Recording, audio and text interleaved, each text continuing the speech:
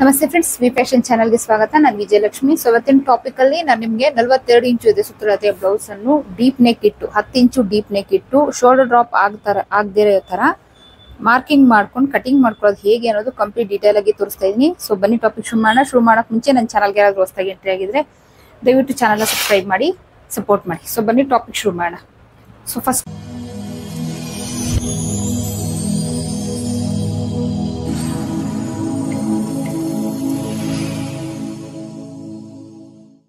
First lining ಮೇಲೆ mark ಹಾಕೊಳ್ತೀನಿ. So ಇದು ಬಂದು ಮೇನ್ ಫ್ಯಾಬ್ರಿಕ್ ಫಸ್ಟ್ ಲೈನಿಂಗ್ ಮೇಲೆ ಮಾರ್ಕ್ ಹಾಕೊಳ್ತೀನಿ.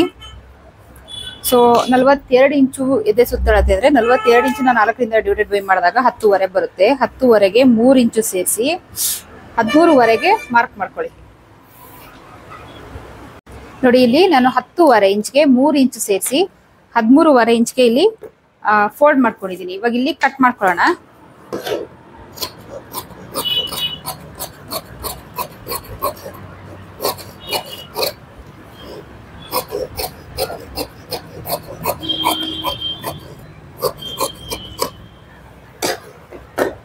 ಈಗ ನಮ್ಮ ಬ್ಲೌಸ್ನ ಲೆಂತ್ ನಾವೇನ್ ಕಟ್ ಮಾಡ್ತಾ ಇದೀವಿ? ಆ ಬ್ಲೌಸ್ನ ಲೆಂತ್ ಬಂದು ರೆಡಿ ಹದಿನೈದು ಇಂಚು.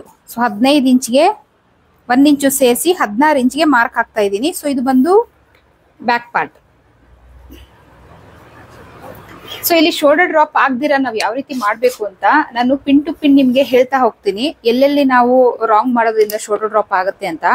ಸೊ ವಿಡಿಯೋನ ಎಲ್ಲೂ ಸ್ಕಿಪ್ ಮಾಡ್ದಿರಾ ನೋಡಿ. ಸ್ಕಿಪ್ ಮಾಡ್ದಿರಾ ನೋಡಿದಷ್ಟು ನಿಮ್ಗೆ ತುಂಬಾ ಚೆನ್ನಾಗಿ ಬರುತ್ತೆ ಬ್ಲೌಸ್ ನಿಮ್ಗೆ ನೀಟಾಗಿ ಅರ್ಥ ಆಗುತ್ತೆ. ಸ್ಕಿಪ್ ಮಾಡಿ ನೋಡಿದ್ರೆ ಏನೇನ್ ಪಾಯಿಂಟ್ಸ್ ಹೇಳಿದೀನಿ, ಅದೆಲ್ಲ ನೀವು ಸ್ಕಿಪ್ ಮಾಡ್ದಂಗೆ ಆಗುತ್ತೆ. ಕಂಪ್ಲೀಟ್ ನೀವು ಅರ್ಥ ಆಗಲ್ಲ. ಮೇನ್ ಅದು ಪ್ರಾಬ್ಲಮ್ ಸೊ ಹಾಗಾಗಿ ಸ್ಕಿಪ್ ಮಾಡ್ದಿರ ನೋಡಿ. Basic online class fourth batch ಶುರು ಮಾಡ್ತಾ ಇದ್ದೀನಿ. ಡೇಟ್ ಇನ್ನು ಅನೌನ್ಸ್ ಮಾಡಿಲ್ಲ. ಸದ್ಯದಲ್ಲೇ ಡೇಟ್ ಅನೌನ್ಸ್ ಮಾಡ್ತೀನಿ. First batch second third batch ಮೂರ್ ಬ್ಯಾಚ್ ರನ್ ಆಗ್ತಾ ಇದೆ. Fourth batch June month after June ಅಲ್ಲಿ ನಾನು ಶುರು ಮಾಡ್ತೇನೆ ಡೇಟ್ನ ಅನೌನ್ಸ್ ಮಾಡ್ತೀನಿ. ಯಾರ್ಯಾರಿಗೆಲ್ಲ ಇಂಟ್ರೆಸ್ಟ್ ಇದೆ ಬೇಸಿಕ್ ಆನ್ಲೈನ್ ಕ್ಲಾಸ್ಗೆ ಸೇರ್ಕೊಳ್ಳೋಕೆ ಸೊ ಅಂಥವ್ರು ಸ್ಕ್ರೀನ್ ಮೇಲೆ ಶೋ ಆಗ್ತಾ ಇದೆ ನಂಬರ್ ಅದಕ್ಕೆ ವಾಟ್ಸಪ್ ಮಾಡಿ ಪೇ ಮಾಡಿ ರಿಜಿಸ್ಟರ್ ಮಾಡ್ಕೊಳ್ಬೋದು. Basic online class complete course ಬಂದು ಎರಡ್ ಸಾವಿರ ರೂಪಾಯಿ. ಮಂತ್ಲಿ ಎರಡ್ ಸಾವಿರ ಅಲ್ಲ ಕಂಪ್ಲೀಟ್ ಕೋರ್ಸ್ಗೆ ಎರಡು ಸಾವಿರ ರೂಪಾಯಿ ಓಕೆನಾ ಸೊ ನೋಡಿ ಬ್ಯಾಕ್ ಪಾರ್ಟ್ಗೆ ನಾನು ಕಟ್ ಮಾಡ್ಕೊಂಡು ಇದಾಯಿತು. ಸೊ ಇವ್ರದ್ದು ಬಂದು ಹತ್ತು ಇಂಚು ಡೀಪ್ ನೆಕ್ ಇದೆ. ನಲ್ವತ್ತೆರಡು ಇಂಚು ಎದೆ ಸುತ್ತಳತೆ. ಸೊ ಸ್ವಲ್ಪ ಹೆವಿ ಇದ್ದಾರೆ ಇವ್ರದ್ದು ಡೀಪ್ ಬಂದು ಹತ್ತು ಇಂಚು. ಸೊ ಯಾವಾಗಲೇ ಆಗಲಿ ನಾನು ಪ್ರತಿಯೊಂದು ಬ್ಲೌಸ್ ಅಲ್ಲೂ ಹೇಳ್ತೀನಿ, ನಾವು ಶೋಲ್ಡರ್ ಇಡಕ್ ಮುಂಚೆ ಡಿಪೆಂಡ್ ಆನ್ ಡೀಪ್ ಡೀಪ್ ಏನಿದೆ? ನಮ್ಮ ಬ್ಲೌಸಲ್ಲಿ ಬ್ಯಾಕ್ ಪಾರ್ಟ್ ಅಲ್ಲಿ ಏನ್ ಡಿಪೆ ಡೀಪ್ ಇರುತ್ತೆ ಸೊ ಅದ್ರ ಮೇಲೆ ಡಿಪೆಂಡ್ ಆಗುತ್ತೆ, ನಾವು ಶೋಲ್ಡರ್ ಎಷ್ಟು ಇಡಬೇಕು ಅಂತ. ಸೊ ಇವ್ರದ್ದು ಪೂರ್ತಿ ಶೋಲ್ಡರ್ ಬಂದು ಹದಿನಾರು ಇಂಚು. ಫುಲ್ ಶೋಲ್ಡರ್ ಬಂದು ಹದಿನಾರು ಇಂಚು. ಬಟ್ ಇಲ್ಲಿ ಹತ್ತು ಇಂಚು ಡೀಪ್ ನೆಕ್ ಇದೆ. ಸೊ ಹತ್ತು ಇಂಚು ಡೀಪ್ ಸ್ವಲ್ಪ ಜಾಸ್ತಿನೇ ಆಯಿತು. ಸೊ ಇವಾಗ ಏನು ಮಾಡಬೇಕು? ಇವ್ರದ್ದು ನಲ್ವತ್ತೆರಡು ಇಂಚು. ಹದಿನಾರು ಇಂಚಲ್ಲಿ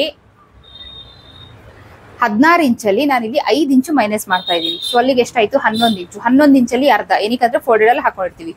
ಅರ್ಧ ಅಂದ್ರೆ ಐದೂವರೆ ಇಂಚು ಶೋಲ್ಡರ್ ಇಡ್ತಾ ಇದ್ದೀನಿ. ನೆಕ್ ಅಗಲ ಬಂದು ಇಲ್ಲಿ ನಾನು ಎರಡು ಇಂಚು ಇಡ್ತಾ ಇದ್ದೀನಿ. ಸಾರಿ ಎರಡು ಕಾಲು ಇಂಚು. ನೆಕ್ ಅಗಲ ಎರಡು ಕಾಲು ಇಂಚು. ಸೊ ಶೋಲ್ಡರ್ ಇಲ್ಲಿ ಎಷ್ಟು ಉಳಿತು ನಮಗೆ? ಮೂರು ಕಾಲು ಇಂಚು ಉಳಿಯುತ್ತೆ. ಸೊ ಐದೂವರೆ ಇಂಚು ಶೋಲ್ಡರ್ ಅಲ್ಲಿ ಎರಡು ಕಾಲು ಇಂಚು ನೆಕ್ ಇಟ್ಟರೆ ಇಟ್ರೆ ಮೂರು ಕಾಲು ಇಂಚು ಶೋಲ್ಡರ್ ಉಳಿಯುತ್ತೆ. ಸೊ ಇದರಲ್ಲಿ ಸೀಮಿಂಗ್ ಎಲ್ಲ ಸ್ಟಿಚಿಂಗಿಗೆಲ್ಲ ಹೋಗಿ ನಮಗೆ ಎರಡೂವರೆ ಇಂಚು ರೆಡಿ ಶೋಲ್ಡರ್ ಸಿಕ್ಕುತ್ತೆ. ಸೊ ಸಾಕಿಷ್ಟು. ನಲ್ವತ್ತೆರಡು ಇಂಚು ಎದೆ ಸುತ್ತಳಗೆ, ಸುತ್ತಳತೆಗೆ ಇಷ್ಟು ಸಾಕು. ಸೊ ಏನು ಐದೂವರೆ ಇಟ್ಟಿದೆ? ಅದಕ್ಕೆ ಅರ್ಧ ಇಂಚು ಸೇರಿಸಿ ಆರು ಇಂಚಿಗೆ ನಾನು ಆರ್ಮೋಲ್ ಲೆಂತ್ನ ಮಾರ್ಕ್ ಹಾಕ್ತಾ ಇದ್ದೀನಿ.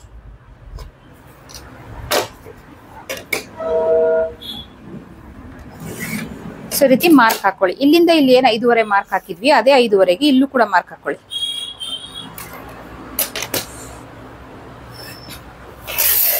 ಎದೆಯ ಸುತ್ತಳತೆಯ ನಾಲ್ಕನೇ ಒಂದು ಭಾಗ ಅಂದ್ರೆ ಹತ್ತೂವರೆ ಇಂಚು. ಸೊ ಇಲ್ಲಿ ಮಾರ್ಕ್ ಹಾಕೊಳ್ಳಿ. ಇಲ್ಲಿಂದ ಇಲ್ಲಿಗೆ ಮಾರ್ಜಿನ್ಗೆ ಎರಡು ಇಂಚು. ಸೊ ಇಲ್ಲಿಂದ ಒಂದು ಕಾಲು ಇಂಚ್ಗೆ ಒಂದು ಮಾರ್ಕ್ ಮಾಡ್ಕೊಳ್ಳಿ ಕಾರ್ನರ್ ಇಂದ ಈ ರೀತಿ. ಇಲ್ಲಿಂದ ನೋಡಿ ಈ ಪಾಯಿಂಟ್ ಇಂದ ಒಂದು ಎರಡು ಇಂಚು ಮೇಲೆ, ಈ ಕಡೆ ಒಂದ್ ಎರಡು ಇಂಚು ಮೇಲೆ ಸಾಕು ಅಷ್ಟೇ. ಅದಕ್ಕಿಂತ ತುಂಬಾ ಜಾಸ್ತಿ ಹೋಗ್ಬೇಡಿ. ನೋಡಿ, ಈ ಮೂರು ಪಾಯಿಂಟ್ ಸೇರಿಸಿ ಆರ್ಮೋಲ್ ರೌಂಡ್ನ ಮಾರ್ಕ್ ಹಾಕಿ.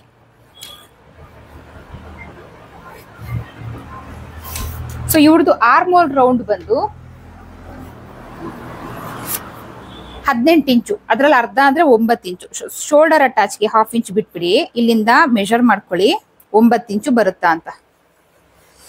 ನೋಡಿ ಕಾಲಿಂಚು ಎಕ್ಸ್ಟ್ರಾ ಬರ್ತಾ ಇದೆ, ನಡೆಯುತ್ತೆ ಬಟ್ ಯಾವುದೇ ಕಾರಣಕ್ಕೂ ಕಡಿಮೆ ಬರಬಾರ್ದು ಓಕೆನಾ ಸೊ ಇಲ್ಲಿ ನಾವು ಇದು ಶೋಲ್ಡರ್ ಡ್ರಾಪ್ ಆಗೋ ಅಂತ ಚಾನ್ಸ್ ಜಾಸ್ತಿ ಇರುತ್ತೆ ಬ್ಲೌಸ್ ಅಲ್ಲಿ. ಸೊ ಹಂಗಾಗಿ ನಾವೆಲ್ಲ ಸ್ವಲ್ಪ ಜಾಸ್ತಿ ಇಟ್ಕೊಳ್ತೀವಿ. ಸೊ ಅದಾದ್ಮೇಲೆ ನಾವು ಕಟಿಂಗ್ ಮಾಡಿ ಸ್ಟಿಚಿಂಗ್ ಮಾಡೋಷ್ಟೊತ್ತಿಗೆ ಅದು ಎಕ್ಸಾಕ್ಟ್ ಆಗಿ ಬರುತ್ತೆ. ಒಂದು ಕಾಲು ಇಂಚು ಜಾಸ್ತಿ ಇದೆ, ನಡೆಯುತ್ತೆ ಬಟ್ ಯಾವುದೇ ಕಾರಣಕ್ಕೂ ಕಡಿಮೆ ಬರಬಾರ್ದು. ಏನಕ್ಕಾದ್ರೆ ಆರ್ಮೋಲ್ ಅಲ್ಲಿ ಟೈಟ್ ಬಂದ್ರೆ ಸೊ ಅದು ಏನಾಗುತ್ತೆ? ಬ್ಲೌಸ್ನ ವೇರ್ ಮಾಡುವಾಗ ಅದು ನಮ್ಮ ಭುಜಕ್ಕೆ ಕರೆಕ್ಟ್ ಆಗಿ ಬಂದು ಕೂರಲ್ಲ. ಏನಕ್ಕೆ ಆರ್ಮೋಲರ್ ಟೈಟ್ ಇರುತ್ತೆ, ಅದು ಮೇಲೆ ಹೋಗಲ್ಲ. ಅವಾಗ ಏನಾಗುತ್ತೆ? ಶೋಲ್ಡರ್ ಡ್ರಾಪ್ ತಾನಷ್ಟಕ್ಕೆ ತಾನೇ ಆಗುತ್ತೆ.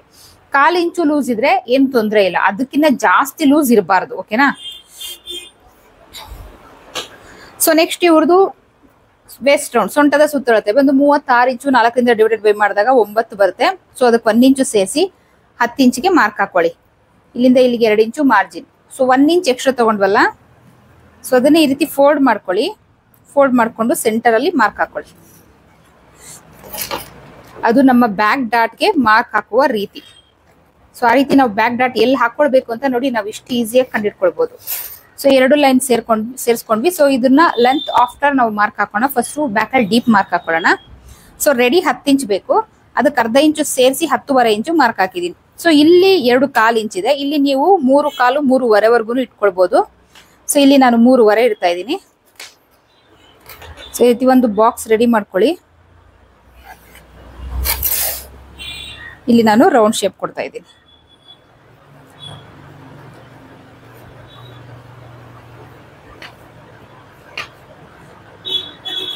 ಈ ರೀತಿ. ಸೊ ಈಗ ಬ್ಯಾಕ್ ಡಾಟ್ ಹಾಕೋಣ. ಬ್ಯಾಕ್ ಅಲ್ಲಿ ಏನ್ ಡೀಪ್ ಇದೆ. ಸೊ ಅದಕ್ಕೂ ನಮ್ಮ ಬ್ಯಾಕ್ ಡಾಟ್ಗೂ ಒಂದ್ ಇಂಚಷ್ಟು ಡಿಫ್ರೆನ್ಸ್ ಬರಬೇಕು. ಸೊ ಅಷ್ಟು ಇಟ್ಕೊಳ್ಳಿ. ಸೊ ಇಲ್ಲಿ ನನಗೆ ನಾಲ್ಕೂವರೆ ಇಂಚ್ ಸಿಗ್ತಾ ಇದೆ. ಸೊ ಮಾರ್ಕ್ ಹಾಕ್ತಾ ಇದ್ದೀನಿ. ಇಲ್ಲಿ ಒನ್ ಇಂಚ್ ಎಕ್ಸ್ಟ್ರಾ ತಗೊಂಡಿದ್ನಲ್ಲ, ಈ ಕಡೆ ಹಾಫ್ ಇಂಚ್ ಈ ಕಡೆ ಹಾಫ್ ಇಂಚ್ ಸೊ ಬ್ಯಾಕ್ ಡಾಟ್ನ ಲೇನ್ ಹಾಕೊಳ್ಳೋಣ.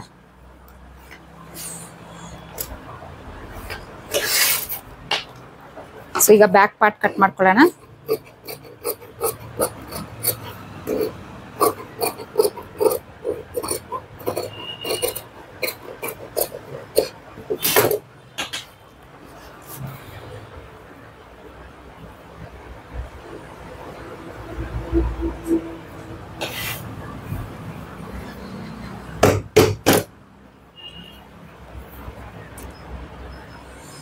ಸೊ ಇದು, ಹೇಗಿದೆ ಶೇಪ್ ಹಾಗೆ ಹಾಕ್ಬಿಡೋಣ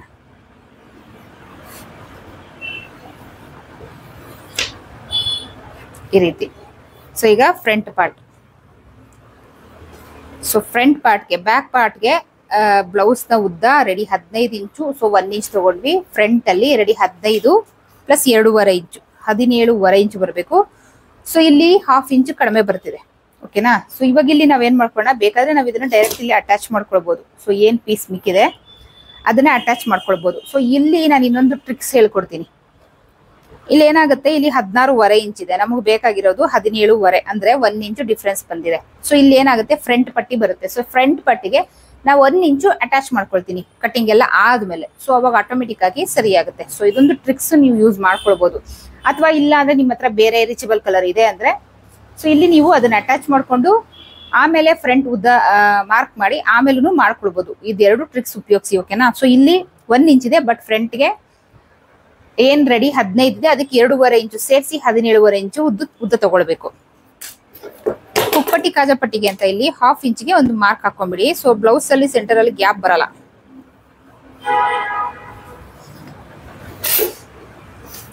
ಸೊ ಬ್ಯಾಕ್ ಅಲ್ಲೆಲ್ಲ ಏನಿಟ್ವಿ ಸೇಮ್ ಅದೇ ತರ ಐದೂವರೆ ಇಂಚು ಶೋಲ್ಡರ್ ಆರು ಇಂಚು ಆರ್ಮೋಲ್ ಲೆಂತ್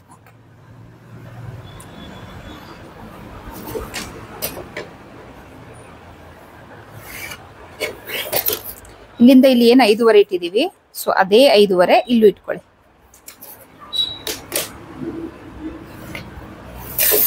ಎದೆಯ ಸುತ್ತಳತೆಯ ನಾಲ್ಕನೇ ಒಂದು ಭಾಗ ಅಂದರೆ ಹತ್ತೂವರೆ ಇಂಚು. ಹಾಫ್ ಇಂಚು ಇಲ್ಲಿ ಡಾಟ್ ಬರುತ್ತಲ್ಲ, ಆ ಡಾಟ್ಗೆ ಹಾಫ್ ಇಂಚು ಇಲ್ಲಿಂದ ಮುಕ್ಕಾಲು ಇಂಚಿಗೆ ಮಾರ್ಕ್ ಹಾಕೊಳ್ಳಿ. ಸೊ ಇಲ್ಲಿ ಹಾಫ್ ಇಂಚು ಶೋಲ್ಡರ್ ಅಟ್ಯಾಚ್ ಬಿಡಿ. ಇಲ್ಲಿ ಎರಡೂವರೆ ಇಂಚು ನೆಕ್ ಆಗಲ್ಲ ಮಾರ್ಕ್ ಹಾಕೊಳ್ಳಿ ಸಾರಿ ಎರಡು ಕಾಲು ಇಂಚು ಎರಡು ಕಾಲು ಇಂಚು ನೆಕ್ ಆಗಲ್ಲ ಮಾರ್ಕ್ ಹಾಕೊಳ್ಳೋಣ. ಈ ರೀತಿ. ಸೊ ಇಲ್ಲಿ ಫ್ರಂಟ್ ಆರ್ಮೋಲ್ ಶೇಪ್ ಕೊಡೋಣ.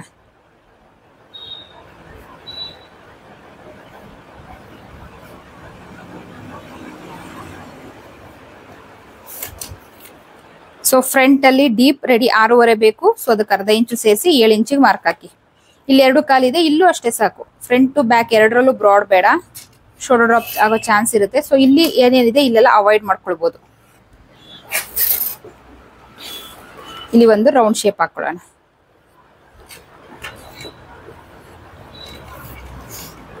ಈಗ ಬಸ್ಟ್ ಪಾಯಿಂಟ್ ಬಸ್ಟ್ ಪಾಯಿಂಟ್ ಬಂದು ಇವ್ರದ್ದು ರೆಡಿ ಹನ್ನೊಂದು ಇಂಚು ಸೊ ಅದಕ್ಕೆ ಅರ್ಧ ಇಂಚು ಸೇರಿಸಿ ಹನ್ನೊಂದೂವರೆ ಇಂಚಿಗೆ ಮಾರ್ಕ್ ಹಾಕ್ತಾ ಇದ್ದೀನಿ.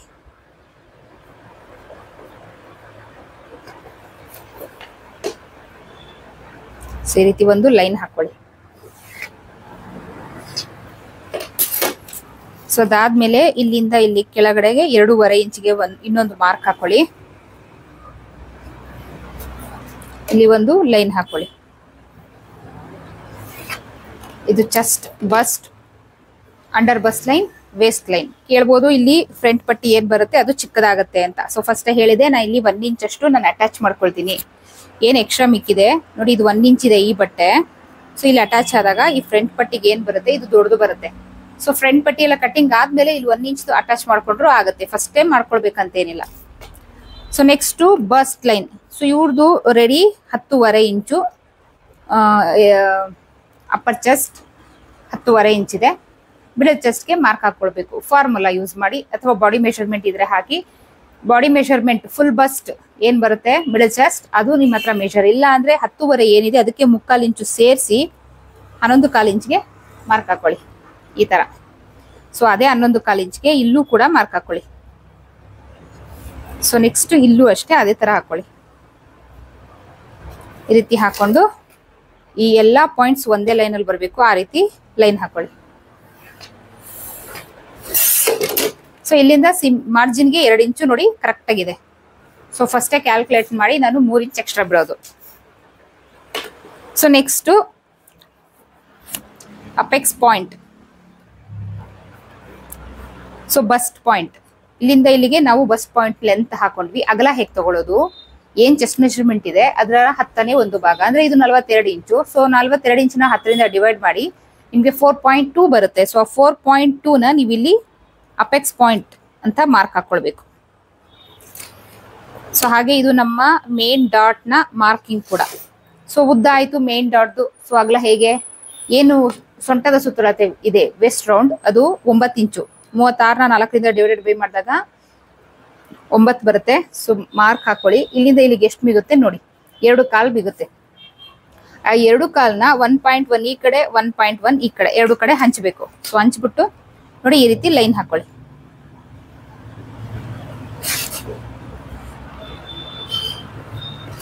ಸೊ ನೆಕ್ಸ್ಟ್ ಮೇನ್ ಡಾಟ್ ಆಗಿದ ತಕ್ಷಣ ಇಲ್ಲಿಂದ ನೋಡಿ ಮೇಲಕ್ಕೆ ಒಂದು ಇಂಚು ಒಂದು ಮಾರ್ಕ್ ಹಾಕೊಂಡು ಸೊ ಇಲ್ಲಿಂದ ಶೇಪ್ ಕೊಡಿ. ಈ ಲೈನಿಂದ ಮೇಲಕ್ಕೆ ಎರಡು ಇಂಚಿಗೆ ಒಂದು ಮಾರ್ಕ್ ಹಾಕೊಳ್ಳಿ. ಸೊ ಈ ಪಾಯಿಂಟ್ ಇಂದ ಒಂದೂವರೆ ಇಂಚಿಗೆ ಮಾರ್ಕ್ ಹಾಕೊಳ್ಳಿ. ಸೊ ಇದು ಎರಡನೇ ಡಾಟ್. ಅದಾದ್ಮೇಲೆ ಇಲ್ಲಿಂದ ಎರಡು ಇಂಚು ಮೇಲಕ್ಕೆ ಮಾರ್ಕ್ ಹಾಕೊಂಡು ಇಲ್ಲಿಂದ ಒಂದೂವರೆ ಇಂಚಿಗೆ ಈ ರೀತಿ ಮಾರ್ಕ್ ಹಾಕೊಳ್ಳಿ ಸೊ ಇದು ನಮ್ಮ ಮೂರನೇ ಡಾಟ್. ಡಾಟ್ ಈ ರೀತಿ ಕ್ರಾಸ್ ಆಗೇ ಬರುತ್ತೆ. ಬಿಗಿನರ್ಸ್ ನೀವು ತಲೆ ಕೆಡಿಸ್ಕೊಳ್ಳೋ ಅವಶ್ಯಕತೆ ಇಲ್ಲ. ಡಾಟ್ ಬರೋದೇ ಹೀಗೆ. ಇದು ಕ್ರಾಸ್ ಆಗೇ ಬರೋದು. ಸೊ ನೆಕ್ಸ್ಟ್ ಈ ಪಾಯಿಂಟ್ ಇಂದ ಒಂದೂವರೆ ಇಂಚು ಮೇಲಕ್ಕೆ ಮಾರ್ಕ್ ಮಾಡಿ ಇಲ್ಲಿಂದ ಸ್ಟ್ರೈಟ್ ಲೈನ್ ಹಾಕೊಳ್ಳಿ ಸೊ ಇದು ನಮ್ಮ ನಾಲ್ಕನೇ ಡಾಟ್. ಇಲ್ಲಿ ಏನು ಹಾಫ್ ಇಂಚ್ ಬಿಟ್ಟಿದ್ದೀವಿ ಅದಿಲ್ಲಿ ಕವರ್ ಮಾಡಿ. ಸೊ ಅಷ್ಟೇ. ನೋಡಿ, ಇಲ್ಲಿ ಫ್ರಂಟ್ ಪಟ್ಟಿ ಚಿಕ್ಕದಾಯ್ತು ಅನ್ಕೊಂಬೇಡಿ.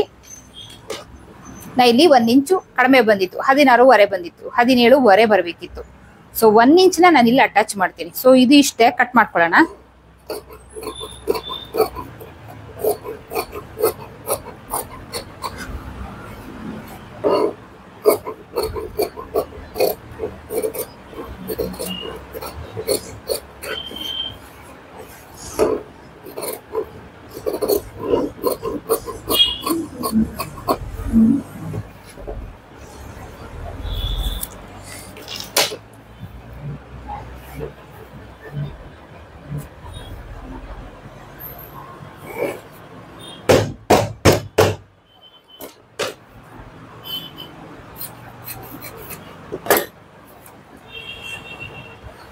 ಸೊ ಇಲ್ಲಿ ಪ್ರಿಂಟ್ ಬಂದಿರುತ್ತೆ.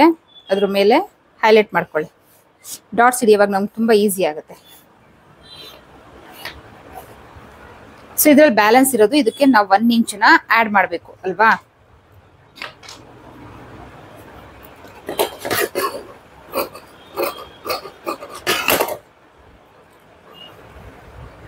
ಸ್ಲೀವ್ ಕಟಿಂಗ್ ಮಾಡ್ಕೊಳ್ಳೋಣ, ನಮ್ಗೆ ಏನಾದ್ರೂ ಮಿಗಬಹುದು. ಸೊ ಇದನ್ನ ಆಮೇಲೆ ಅಟ್ಯಾಚ್ ಮಾಡೋಣ. ಸೊ ಇಲ್ಲಿ ಹಾಫ್ ಸ್ಲೀವ್ ಆಗಿರೋದ್ರಿಂದ ಬಟ್ಟೆ ಮಿಗೋ ಚಾನ್ಸ್ ಎಲ್ಲ ಇದೆ. ನೋಡಿ, ಏನು ಬಟ್ಟೆ ಮಿಕ್ಕಿದೆ, ಅದನ್ನ ಈ ರೀತಿ ನಾಲ್ಕು ಫೋಲ್ಡ್ ಅಲ್ಲಿ ಹಾಕೊಳ್ಳಿ. ಓಕೆನಾ ಸೊ ಏನು ಮಿಕ್ಕಿದೆ, ಅದನ್ನ ಹಾಕೊಂಡ್ಬಿಡಿ. ಶಾರ್ಟೇಜ್ ಬಂದರೆ ಇಲ್ಲಿ ಎಕ್ಸ್ಟ್ರಾ ಪಟ್ಟಿ ಕಟ್ಕೊಳ್ಳೋಣ. ಸೊ ಇವ್ರದ್ದು ತೋಳಿನ ಉದ್ದ ಸ್ಲೀವ್ ಲೆಂತ್ ಬಂದು ರೆಡಿ ಐದು ಇಂಚು. ಸೊ ಅದಕ್ಕೆ ಒಂದು ಇಂಚು ಸೇರಿಸಿ ಆರು ಇಂಚಿಗೆ ಮಾರ್ಕ್ ಹಾಕೊಳ್ಳಿ. ಈ ರೀತಿ ಲೈನ್ ಹಾಕೊಳ್ಳಿ. ಕಟ್ ಮಾಡ್ಕೊಳ್ಳೋಣ. ಸೊ ಇದೇನಿದೆ ಅಗಲ? ನಾಲ್ಕು ಫೋಲ್ಡ್ ಅಲ್ಲಿ ಹಾಕೊಂಡಾಗ ಏನಿದೆ ಅಗಲ? ಇದು ಸಾಲಲ್ಲ. ಓಕೆ ಅದಕ್ಕೆ ನಾನು ಇವಾಗ ಏನ್ ಮಾಡ್ತೀನಿ? ಸೊ ಇದಕ್ಕೆ ಇಲ್ಲಿ ಜಾಯಿನ್ ಮಾಡ್ಕೊಳ್ತೀನಿ.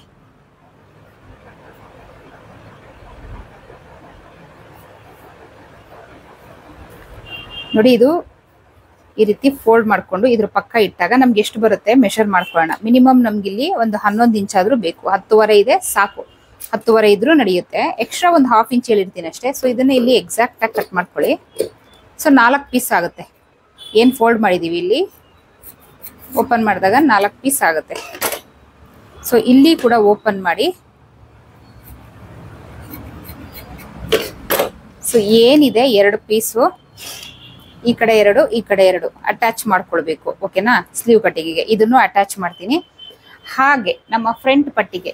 ನೋಡಿ ಇಲ್ಲಿ ಮಿಕ್ಕಿದೆ ಬಟ್ಟೆ. ಒಂದು ಇಂಚಷ್ಟು ಬೇಕು. ಸೊ ಅದನ್ನು ಕೂಡ ಇಲ್ಲಿ ಕಟ್ಟಿಂಗ್ ಮಾಡಿನೇ ತೋರಿಸ್ತೀನಿ. ಅಟ್ಯಾಚ್ ಮಾಡಿ. ಎರಡು ಪೀಸ್ ಇದೆ. ಎರಡು ಪೀಸ್ಗೂ ಆಗೋಷ್ಟು ಬೇಕು.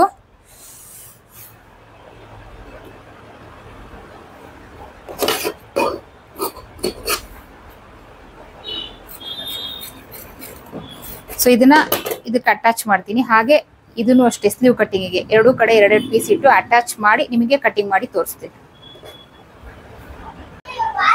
ಸೊ ಈಗ ನೋಡಿ, ನಾ ಇಲ್ಲಿ ಅಟ್ಯಾಚ್ ಮಾಡ್ಕೊಂಡಿದೀನಿ. ಈಗ ಏನ್ ಮಾಡ್ಬೇಕು? ಇಲ್ಲಿ ಅಟ್ಯಾಚ್ ಮಾಡ್ಕೊಂಡಿರ್ತೀವಲ್ಲ ಸ್ಟಿಚ್ ಇರುತ್ತಲ್ಲ, ಅಲ್ಲಿಂದ ಒಂದ್ ಇಂಚು ಜಾಸ್ತಿ ತಗೊಳ್ಬೇಕು. ಕಾಲ್ ಇಂಚು ಇಲ್ಲಿ ಅಟ್ಯಾಚಿಂಗ್ ಹೋಗಿರುತ್ತೆ. ಸೊ ಹಂಗಾಗಿ ಒಂದು ಕಾಲ್ ಇಂಚು, ಏನ್ ಸ್ಟಿಚ್ ಇದೆ? ಅಲ್ಲಿಂದ ಒಂದು ಕಾಲ್ ಇಂಚ್ಗೆ ಮಾರ್ಕ್ ಹಾಕೊಳ್ಳಿ. ಅವಾಗ ನಮ್ಗೆ ಎಕ್ಸಾಕ್ಟ್ ಆಗಿ ಬಂದ್ಬಿಡುತ್ತೆ. ಈ ಸ್ಟಿಚ್ ಇಂದ ಒಂದು ಕಾಲ್ ಇಂಚು. ನೋಡಿ, ಇಷ್ಟು ಎಕ್ಸ್ಟ್ರಾ ಇದೆ. ಸೊ ಇದನ್ನ ಈ ರೀತಿ ಲೈನ್ ಹಾಕೊಂಡು ಕಟ್ ಮಾಡಿದ್ರೆ ಮುಗೀತು. ಎಕ್ಸಾಕ್ಟ್ ಆಗಿ ಬಂದ್ಬಿಡುತ್ತೆ.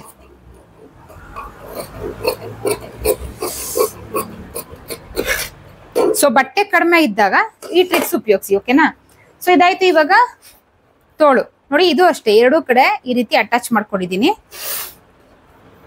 ಅಪೋಸಿಟ್ ಅಪೋಸಿಟ್ ಅಟ್ಯಾಚ್ ಮಾಡಿರೋದು. ಅಪೋಸಿಟ್ ಅಪೋಸಿಟ್ ಬರೋ ತರ ಹಾಕೊಳ್ಳಿ. ಇದನ್ನ ಫೋಲ್ಡಿಂಗ್ ಮಲ್ಲಿ ಹಾಕೊಳ್ಳಿ. ಸೊ ಲೆವೆಲ್ ಇಲ್ಲ ಅಂದ್ರೆ ಲೆವೆಲ್ ಮಾಡ್ಕೊಂಬಿಡಿ. ಈಗ ಫಸ್ಟ್ ಕ್ಯಾಪ್ ಹೈಟ್ ಮಾರ್ಕ್ ಹಾಕೋಣ. ಏನು ನಮ್ಮ ಚೆಸ್ಟ್ ಮೆಷರ್ಮೆಂಟ್ ಇದೆ? ಅಂದ್ರೆ ನಲವತ್ತೆರಡು ಇಂಚು. ಅದನ್ನ ಹತ್ತರಿಂದ ಡಿವೈಡೆಡ್ ಬೈ ಮಾಡಿದಾಗ ಫೋರ್ ಪಾಯಿಂಟ್ ಟೂ ಬರುತ್ತೆ. ಸೊ ಇಲ್ಲಿ ನಾಲ್ಕು ಇಂಚ್ ಇಟ್ರೆ ಸಾಕು. ಅಷ್ಟೊಂದು ಬೇಡ. ಏನು ಗೊತ್ತಾ? ಇದು ಹಾಫ್ ಸ್ಲೀವ್ ಓಕೆನಾ ಸೊ ಇಲ್ಲಿಂದ ಮಿನಿಮಮ್ ಮೇಲಕ್ಕೆ ಒಂದೂವರೆಯಿಂದ ಎರಡು ಇಂಚು ಇಲ್ಲಿ ಗ್ಯಾಪ್ ಇರಬೇಕು. ಸೊ ಫೋರ್ ಪಾಯಿಂಟ್ ಟೂ ಬರುತ್ತೆ. ಟೂ ಪಾಯಿಂಟ್ ಏನ್ ಪರವಾಗಿಲ್ಲ. ನಾಲ್ಕು ಇಂಚು ಬರುತ್ತೆ. ಸೊ ಅದನ್ನ ಇಲ್ಲಿ ಹಾಕೊಳ್ಳಿ. ಇದು ಬಂದು ಕ್ಯಾಪ್ ಹೈಟ್ ಸೊ ಈ ರೀತಿ ಲೈನ್ ಹಾಕೊಳ್ಳಿ.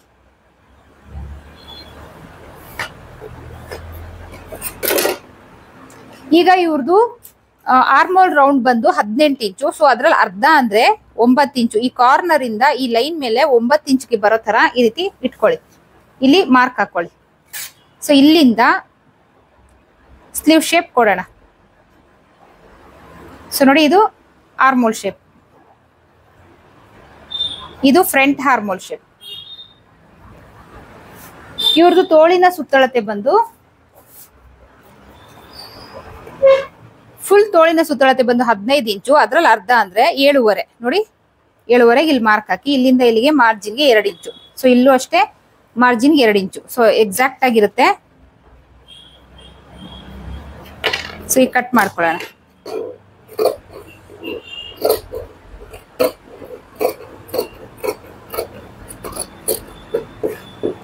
ಸೆಂಟರಲ್ಲಿ ನಾಚ್ ಹಾಕೊಳ್ಳಿ.